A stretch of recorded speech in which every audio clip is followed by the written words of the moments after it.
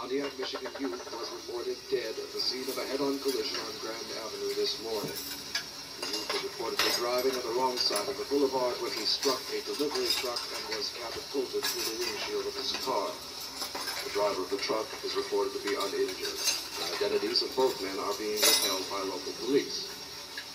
County legislators today are expected to rally to the aid of striking longshoremen in hopes of ending the nine-month deadlock.